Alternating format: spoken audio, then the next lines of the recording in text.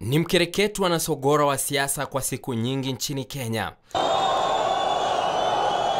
Kinara wa Azimio la Umoja One Kenya Raila Odinga amekuwa na mtiririko wa ushirikiano kati yake na marais kuanzia mwaka 1997 alipoingia kwenye mkataba wa makubaliano maarufu Cooperation na rais mstaafu hayati Daniel Moi.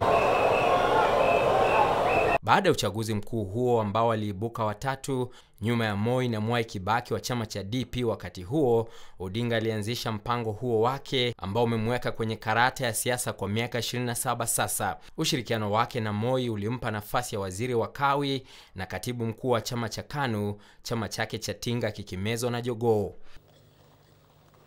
Cooperation is that idea whose time has come, and ideas do move fast as their time comes. Miaka kumi baadaye, safari ya pili ya Raila Ikuluni ilikatizwa akikosa tena kupata urais katika uchaguzi uliokumbwa na utata wa mwaka 2007. Na baada ya mazungumzo ya mapatano, Raila alichukua nafasi ya waziri mkuu akigawana mamlaka na Rais Mwai Kibaki kwenye serikali ya mahuluti maarufu nusu mkate. Mwongo mmoja tena baadaye, baada ya uchaguzi mkuu wa mwaka 2017, Raila alijipata kwenye njia ile ile akitumia mbinu zile zile, akiwa na mwafaka na Rais Uhuru Kenyatta mwezi Machi mwaka 2018.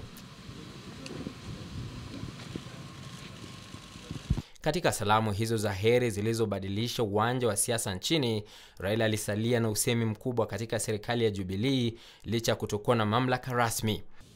And we say that the divide ends here, beginning the process of building the bridge that, that binds Kenya together.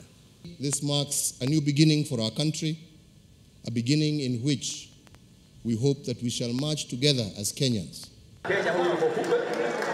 Na sasa mbinu hiyo hiyo inadhihirika katika serikali ya Kenya Kwanza, Raila akijenga madaraja na Rais William Ruto kwa manufaa ya uchaguzi wa wenyekiti wa tume ya Umoja wa Afrika AU. We, we want to unify the country. We want to work together towards the unity of Kenya. And that is important to all of us. We said that we are unbogable.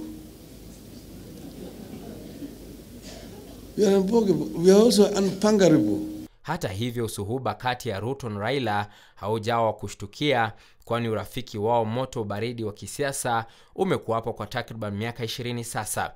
Usuhuba huo ulianza wakati wa kampeni za kupanga mchakato wa kubadilisha katiba wa mwaka 2005 ukizalisha chama cha ODM ambacho Ruto alikitetea kwa jino na ukucha wakati huo. Emmanuel To, KTN News, Nairobi.